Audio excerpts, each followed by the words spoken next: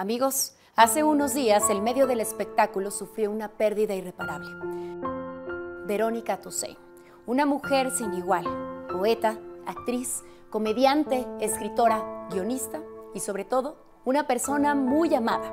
Lamentablemente, el cáncer de mama le arrebató la vida a los 48 años, luego de una larga lucha de dos años y nueve meses. Una persona allegada a Vero nos reveló que la mamá de la querida conductora se fue a vivir con ella desde que comenzó a estar más débil para acompañarla en todo momento. Jamás estuvo sola.